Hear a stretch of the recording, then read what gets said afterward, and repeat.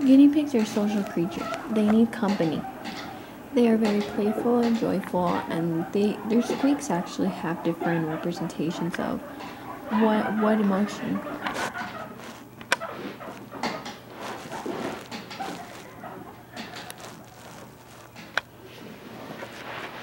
You can tell what a guinea pig is feeling just by their squeaks. If they're high pitched squeaks, then that means they're happy.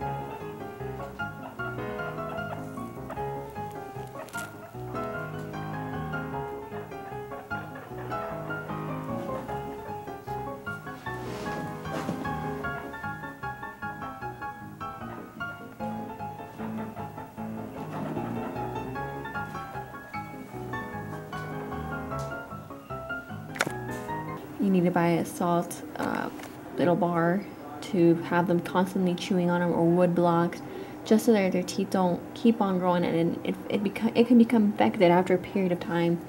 Having their nails clipped, especially, um, they can actually hurt one another or they can hurt themselves by trying to scratch when they try to clean themselves.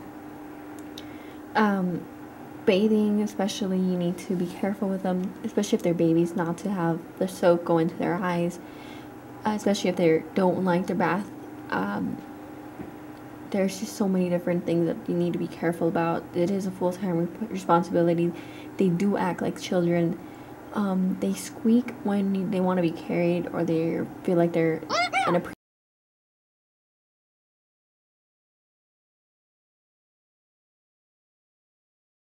actually I think just as amazing as dogs. They're very loving, they want affection, they love to play. Of course, they can't play fetch or anything, but you know, they can definitely play with you or, you know, keep you company at least.